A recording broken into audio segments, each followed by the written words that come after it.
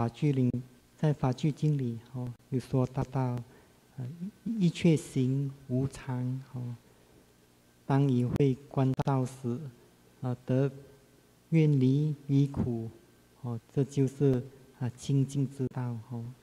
啊，一一切行是苦哦，当当以会观到时，哦，得远离离苦，哦，这。这就是啊清净之道哦，嗯，一切法无我哦，当以会观照时，得远离于苦哦，这是啊大致清净之道哦，所以说叫诸行无常哦，诸行是苦啊，诸法无我，嗯，嗯，但是如果像修行者想要透视到一切行。哦，是无常，是苦哦，一切法是无我，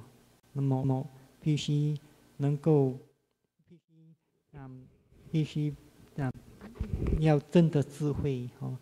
只有智慧才能够透视到到啊，嗯，一诸行无常哦，诸行是苦哦，诸法无我的性质哦，啊，有会才有。透视到哦无常啊苦无我的啊力量哈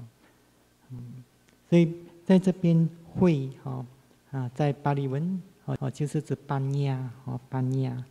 啊相信大家知道有三种班亚哦智慧啊啊第一就是啊听文字哦第二啊思考字啊第三。修习智哦，嗯，所以以会关照哦，得远离苦哦，这是大致清净之道哦。所以在这边边会哦智慧，嗯，并不只是指，并不是指听文字啊思考字哈，嗯，要能够啊真要能够透视到。啊，一切行，呃的无常苦哦，一切法的无我，修行者必须培育啊第三种智慧，也就是啊修习智哦，嗯，啊要听文字哦，就是嗯从听哦从阅读佛书所得到的智慧哦，般若哦，嗯思考智啊，然后。换句话说，啊，当你从听、从阅读佛书得到智慧之后，开始思考分析，啊，嗯，这两种智慧，我们可以说是是属于二手的，哦，哦，二手的，嗯，因因为这这所谓的二手的智慧，就是你只是从听、从思考，但是。并不是从经，并不是一种嗯从亲身体验所得到的智慧，哦，所以有时我们称为啊二二手的智慧，哦啊 second hand 啊 wisdom 哦，哦 second hand 就是二手的哦，嗯，所以即即使你这种智慧，嗯听文字思考时，也并不能够让你正确了解。哦，一切行。是无常，哦，一切行是苦，哦，一切法是无我，嗯，嗯，因为你，你，你，你的智慧是属于二手的，你并并不是你所亲身体验而得到的智慧，哦，哦，所以你要能够正确了解，哦，一切行，哦，是无常是苦，哦，一切法是无我，你必须真的。第第一手的啊智慧，啊，first 啊啊 first hand wisdom 哈，啊，在这边所所谓的第一手的智慧哦，就是从亲身体验而真的的智慧，哦，所以从亲身体验所真的智慧，才能够让修行者啊正确了解哦一切行啊无常是苦。哦，一切法无我，嗯，所以要真的第一手的呃智慧哦，从啊或者说亲身体验的智慧，那么修行者必须培育啊修习智哦，啊修习智哦，在巴利文就是指巴瓦那玛雅班亚哈，啊班亚就是指智慧哦，啊巴瓦那就是指啊就是是指指禅哦哦巴瓦那。这个字的真正的意义，就是指啊新的培育，哦新的训练，哦新的发展，哦所以从新的培育，哦所所在从新的培育所真的的智慧，哦就是指修习智，哦啊所以修习智啊并不是并不是任何人可以给你给予你这修习智。或是所谓的第一手的经验，嗯，你必须亲身努力，哦，去真的修习智，才能够透视到一切行啊无常，哦，一切行是苦，哦，一切法无我，嗯，所以啊，要真的修习智，啊啊，属于第一手的智慧，嗯，修行者必须啊。培育正念念哦，啊，世尊啊，为众众生指出这唯一的道路，当你唯一的方法哦，就是思念处的修习啊，修行者才能够证得智慧，而正确了解，啊，正确了解哦，一切行啊是无常苦哦，一切法无我，嗯，所以嗯。修习智哦，是啊，当下啊，修行者所必须精进努力，嗯，以便能够真的这修习智，嗯嗯，所以要能够真的这第一手属于第一手的智慧，修行者必须培育啊专注准确的正念，而且正念必须啊持续啊一段。相当长的时间哈，啊，如果真的念不专注啊，不准确啊，修行者将不能够透视到啊一一切行啊是无常哦是苦哦一切法无我，嗯，所以正念哦在这边啊杀地哦，并不是指啊啊。一种普通的正念，啊，它是一种非常啊专注、专专注哦深入的观察，啊，所以这就是为什么在经典说到哈，这正念哦，正念它是它的性质是啊不不漂浮的哈，不漂浮，或者说不不肤浅的，啊，换句话说，他不做表面的。啊，表面的观察，啊，他是很很深入，深入那个现象，啊，深入入于现象，在在观察任何现象的时候，他是非常深入的，啊，很专注的。当当我们说深入，哦，他的意思是，啊，是指深深入于每每个现象的性质，啊，嗯，就是。那我们啊强调说，哦，正念的观察必须非常专注、深入哦，做深入的观察。啊，其实我们的真正的意义就是深入于每一个现象的性质，或是每一个目标的性质。哈，嗯，如果修修行者不能够做这样的深入观察，自然就不能够透视到。当下每一个现象的性质，哦，或是每个目标的性质，哦，嗯，啊，所以如果你正念观察是非常表面化，哦，非常肤浅，那么你就不能够啊透视到当下每一个现象的性质，哈，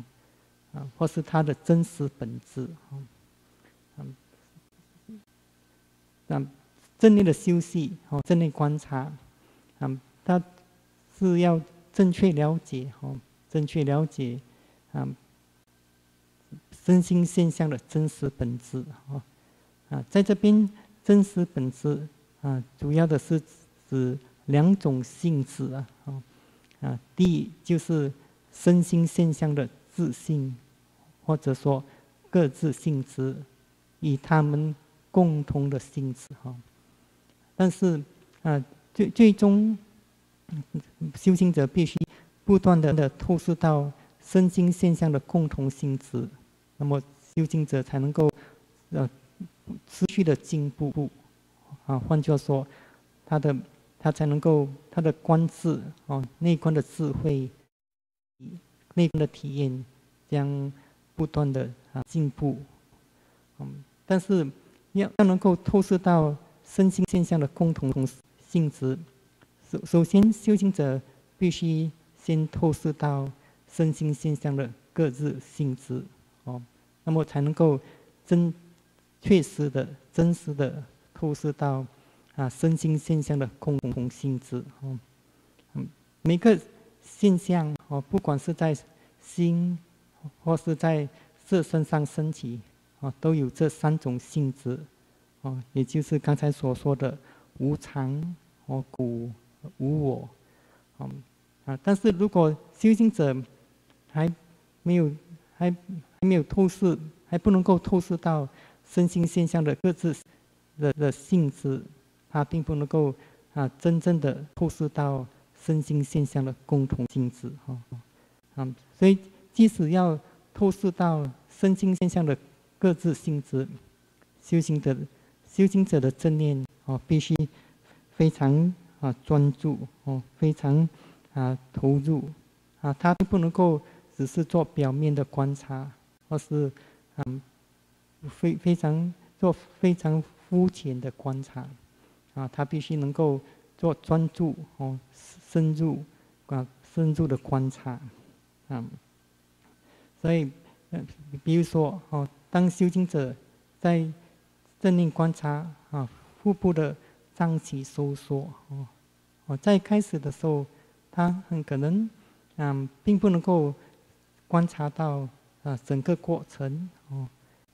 有时啊，腹部胀起之后哦，他还没有确实的观察到他的整个过程哦。突突然间哦啊，正念很可能被次要的现象啊兴趣，或是比较比较。不明显的现现象兴趣啊，啊，这是因为啊正念啊还不够啊专注，啊，但是当他不断努力，啊，提啊提起足够的精进，那么啊当下如果腹部的脏器是最明显，他能够很专注、准确的观察到它的移动的开始哦，它的中间到它的结结束哦。所以在开始，呃，在禅修的期间，或者说当正念还不够专注、准确，啊，修行者并不能够确实的观察到整个移动的过程，啊，有时，嗯，正嗯杂杂念升起了，或或者说妄念升起了，修行者并不能够啊即刻的观察到，哦，那有时杂念消失了，才警觉到。哦，前几几秒钟，或是前前几几刹那，有一个杂念，哦，已升起，已经消失，啊，所以当时啊，我们可以说啊，正念还不够专注准确，啊，啊，可以说是很缓慢，哈，嗯，我们要培育的正念是一种，嗯。即刻性的观察啊，所以即刻性的观察就是一个现象升起，正念就马上能够观察到它的升起啊，中间的过程啊，它的迅速的消失都能够准确的观察到啊，它是属于一种啊非它是非常即刻的哦，当正念非常敏锐，他能够即刻的观察到在当下。升起的每个现象，哈，啊，但是当正念还不够专注准确，哦，修行者会在当下哦，同时意识到有啊两个现象，或是三个现象，哦，或是几个现象啊同时升起，啊，所以这就是为什么我们啊强调说，修行者啊必须依照啊四念处的修习的原则在练习，哦，哦，或或就是说，有时修行者意识到有两个现象。三个现象啊的存在，那么修行者必须正念观察其中一个最明显的现象啊，正念观察最明显的现象啊。其次，正正念正念的嗯，其实正念念，如果正念敏锐，正念自然会透视到呃觉知到最明显的现象哦，所以修行者就必须正念。观察当下最明显现象，嗯，但是假设说在当下有两个不同的现象同时升起，哦，比如说在色身上，修行者啊感受到疼痛或者说麻痹，啊，而且疼疼痛感受很剧烈，但是也有可能当时有一个杂念升起，哦，啊，有时痛升起的时候。修行者不能够很好的去观察啊这个疼痛，那么心就可能往外跑，落入杂念。所以当修行者者警觉到有杂念的时候，他必须正念观察杂念啊，观察杂念，它并不是观察疼痛哦。所以或者说，有时修行者在正念观察腹部的起伏，啊，虽然腹部的脏器收缩，哦。很明显，但是心还是往外跑。修行者必须正念观察当时往外跑的心，如杂念、妄念等等。哦，因为在思念处的修习啊，观察心法比观察色法更重要。哦，因为禅哦就是一种新的训练，哦新的培育，啊或是新的发展，所以观观察。心法比观察色法更重要。当心法消失之后，如果没有其他心法的升起，修行者就即刻观察在当下升起的一个色法，哦，或是嗯，在色身上升起的感受，哦，如疼痛、麻痹等等。嗯，只有当修行者能够准确的观察到在在当下。升起的每个心法，哦，而且能够观察到、体验到每个心法啊，都是迅速生灭，那么修行者才能够真正的进步，哦，啊，但是只要修行者还不能够准确的的观察到心法的迅速生灭，哦，他的正念啊还不够专注，还不够啊注意力，嗯嗯嗯。那，然后，嗯嗯，当当我们在，嗯，在做正念观察的时候，哦，啊，其实我们也不可以的去啊制造一个现象，哦，啊，制造一个现象，啊啊，比如说，嗯，当腹部的脏器啊，当腹部收缩的时候，如果腹部的脏器收缩不明显，啊，修行者。啊，并不需要刻意的加深呼吸，啊，或是做剧烈的呼吸，以以便腹部的脏器收缩变得更明显，哈，啊，所以修修行者并不需要去去啊，把制造一个现象，哦，制造一个更明显的形象，啊啊，同同样的，在行禅的时候，哦，修行者。也并不需要刻意的把脚提得特别高哦，啊，这并不是很很自然、很正确哦。如果修行者可以把脚踢得高哦，嗯，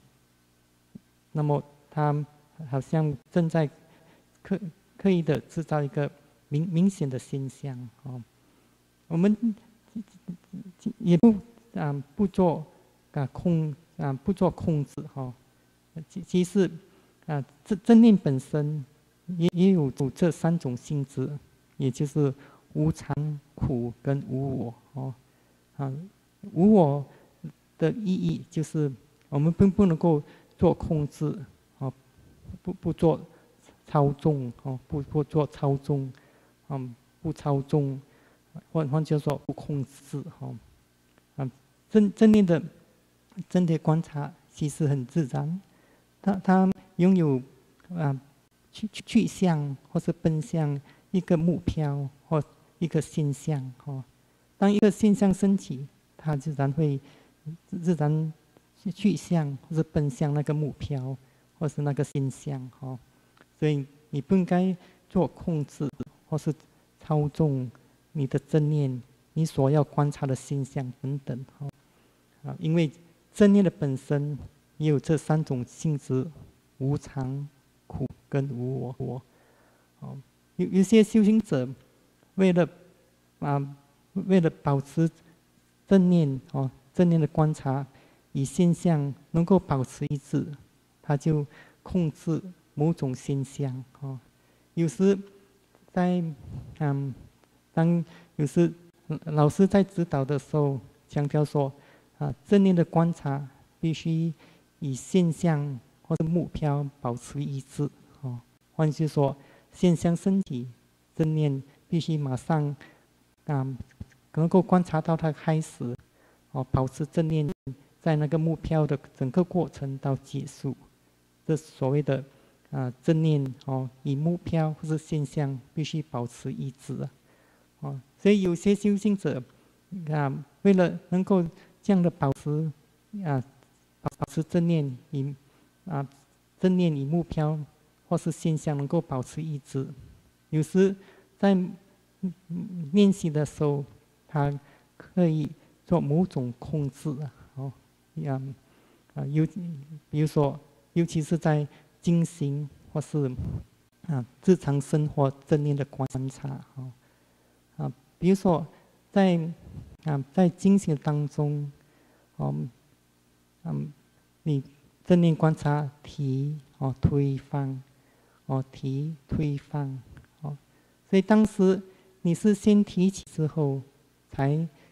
做正念观察，还是还没有提起之后，提起之前，你已经把正念集中在你的脚部，哦，脚跟，哦，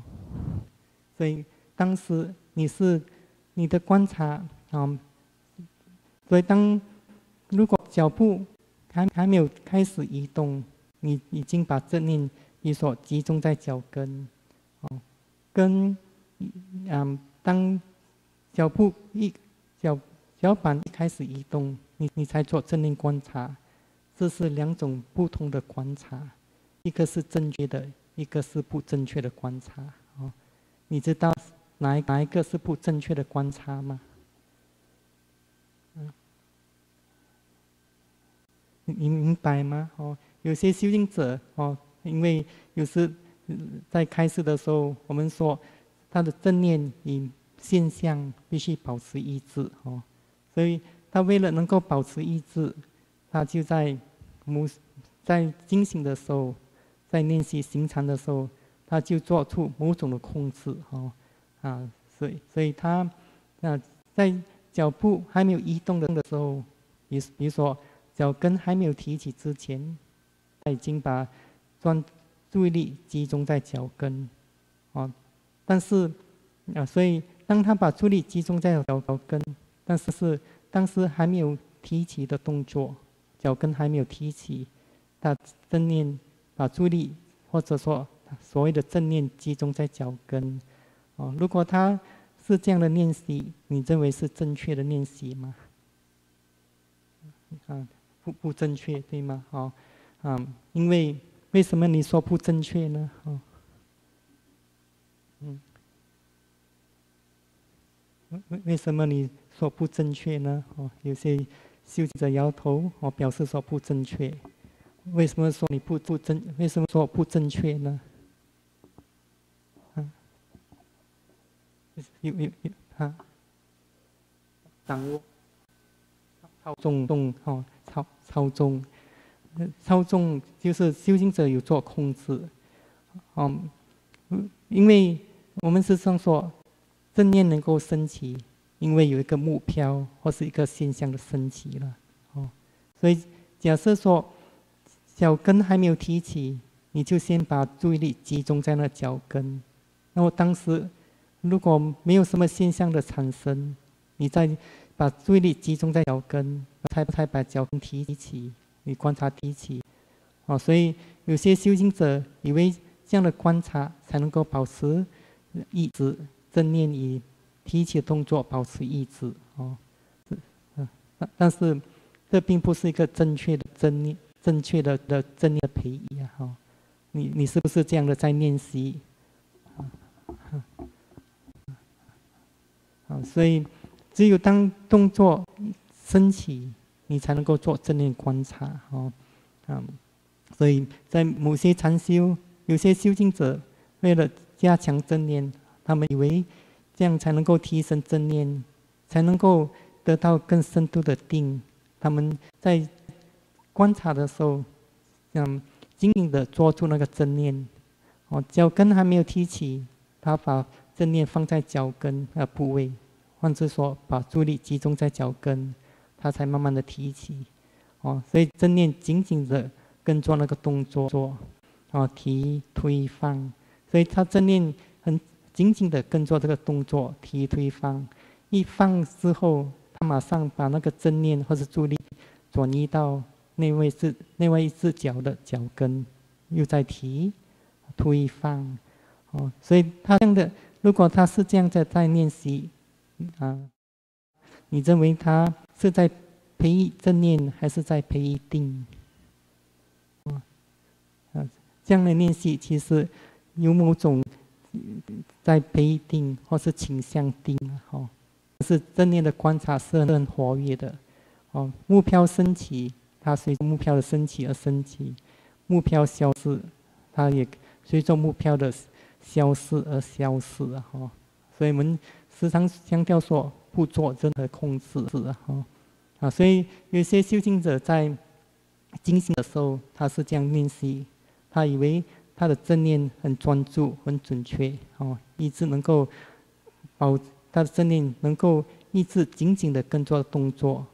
跟跟随着那个脚步的脚板的移动、提推放、触压等等哦，他能够保持一致哦。但是他说他，但是是在静坐的时候，他们做不到，他们不能够保持，他们不能够把正念以腹部的脏器收缩保持一致哦。嗯，所以他们会会觉得嗯嗯，为他们感觉觉到迷惑。哦，为什么在静心的时候他能够做做得到？啊，正念以脚步移动保持一致，但是在静坐的时候，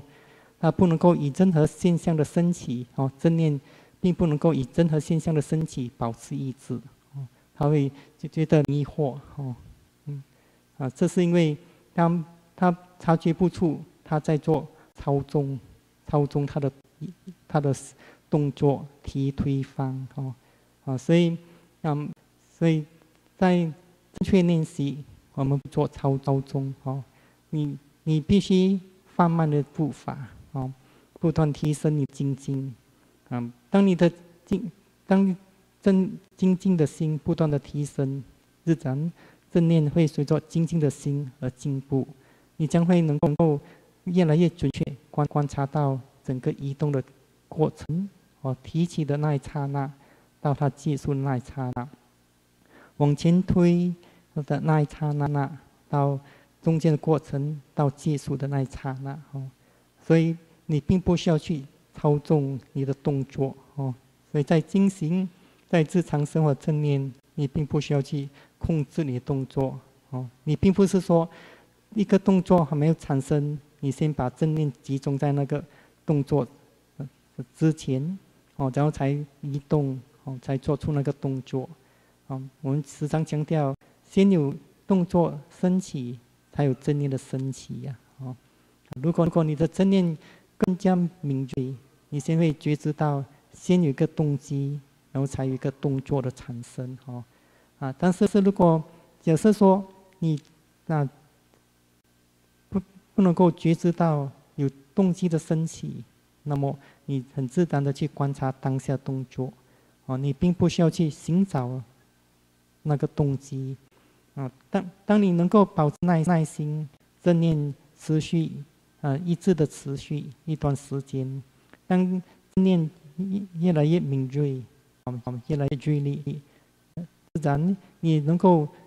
觉知到在。啊，每个动作之前，先有一个动机升起，然后才有一个动作的产生哦。比如说，当你还没有把脚跟提起，首先先有一个动机，然后脚慢慢才慢慢的提起哦。先有一个动机，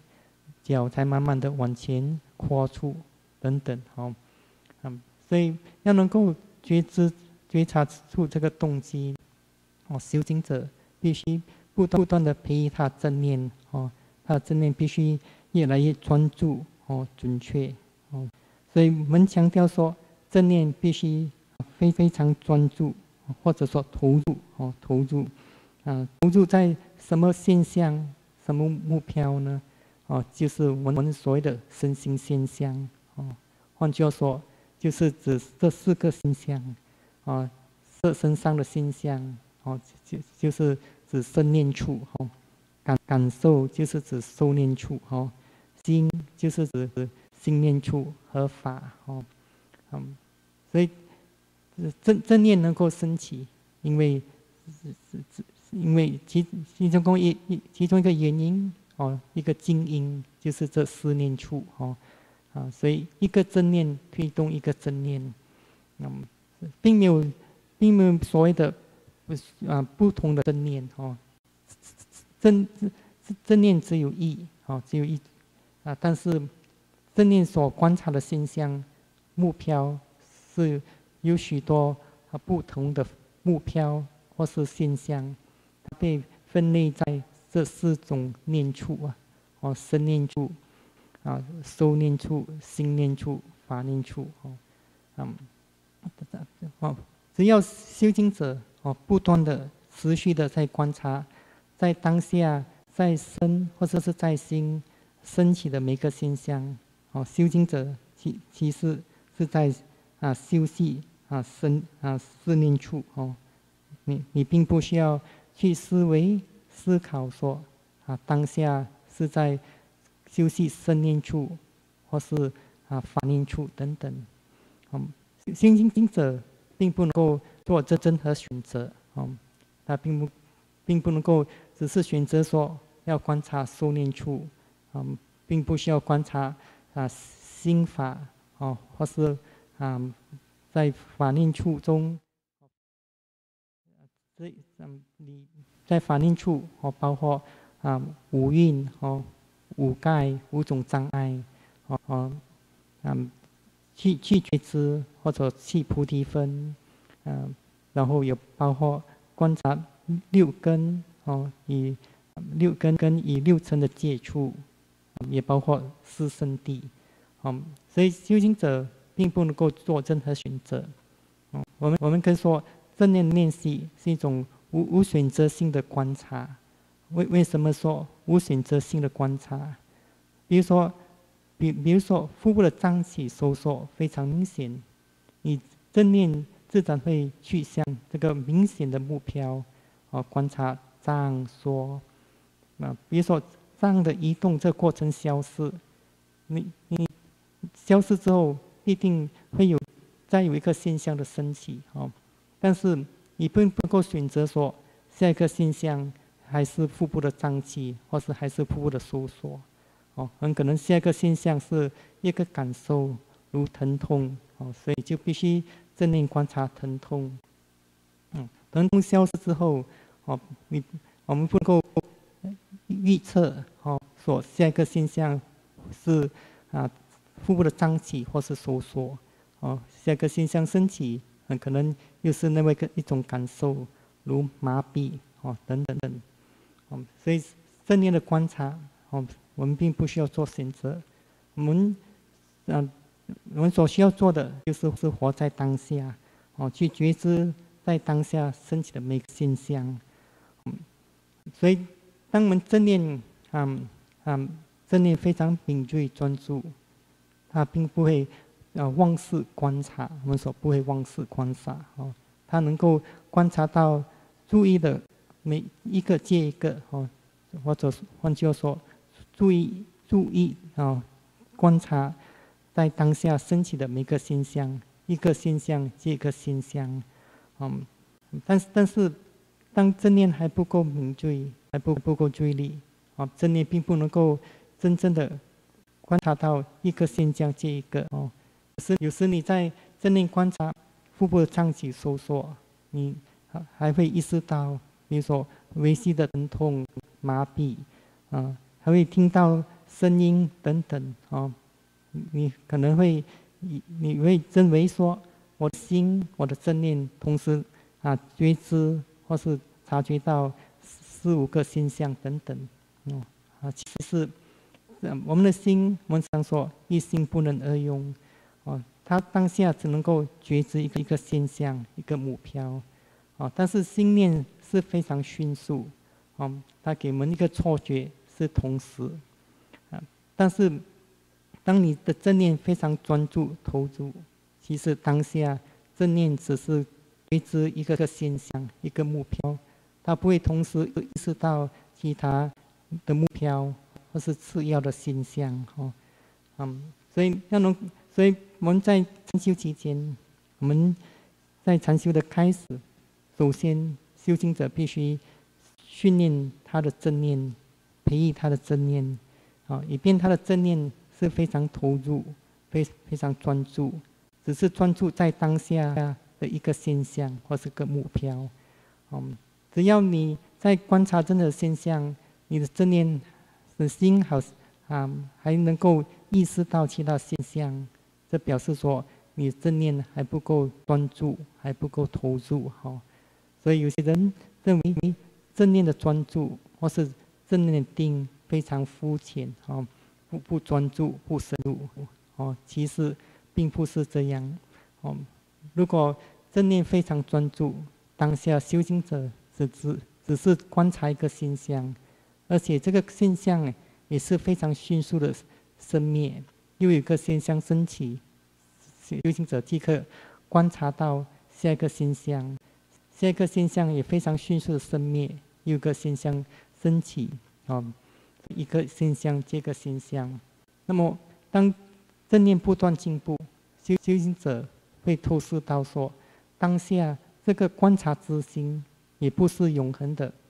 哦，在开始练习的话，你为只有一个正念观察腹部胀气收缩，同一个正念在观察疼痛，哦，同一个正念觉知到杂念妄念，哦，你为只有一个正念，一个正念一直存在，哦，但是当你不断的进步，你会察觉到这个正念其实。它的性质也是是无常、苦跟无我，啊啊！当一个现象升起，它也随着个现象升起，这现象消消失，它也随着个现象消失，哦，所以当时修行者真正的察觉到，在当下只有两个过程，啊，一个是在做观察的心，一个是被观察的现象，哈，啊，所以在英文我们称为啊。subject and object 哦，只有一对哦。这个 subject 是在做观察之心，啊，现象很可能是腹部的起伏哦，有许多不同现象，腹部起伏啊，疼痛、麻痹啊，杂念、妄念哦。所以在当下只有一个在做观察之心，然后一个一个被观察的现象，这两个过程，而且这两个过程也不是永恒的。啊，意思他们是可以说是同时生同时灭哦，虽然他们的升起之间一段非常啊一个有一个非常小的微细的距离哦，啊先有一个现象升起，才有观察之心的升起哦，所以他们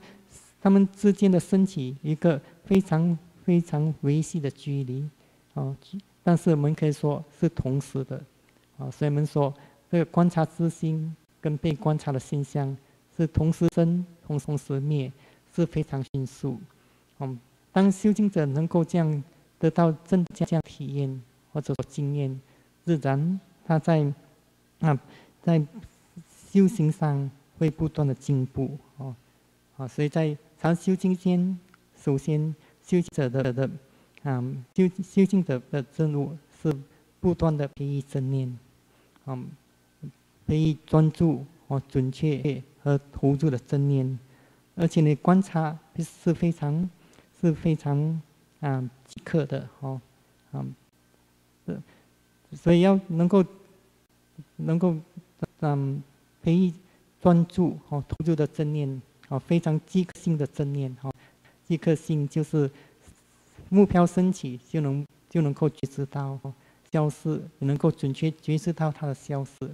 修行者需要啊耐心哦毅力。啊，而且正念必须持续啊，嗯，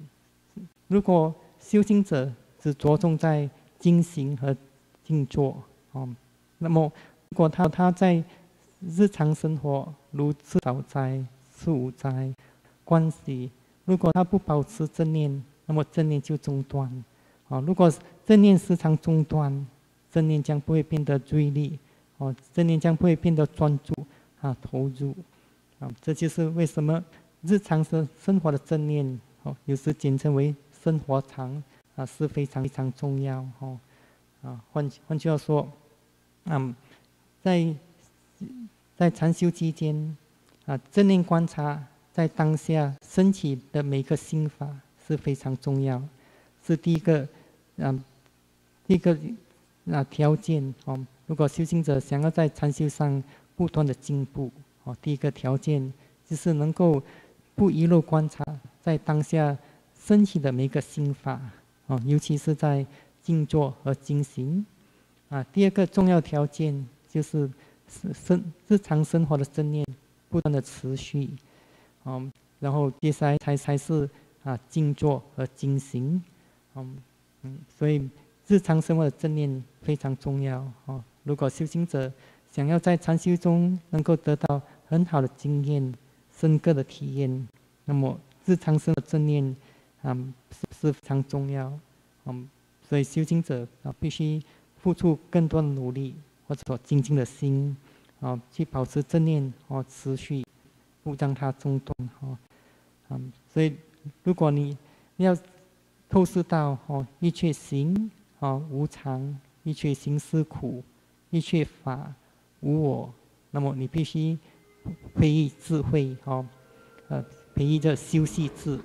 要培育这修习智，你必须啊，培育专注、准确的正念，哦，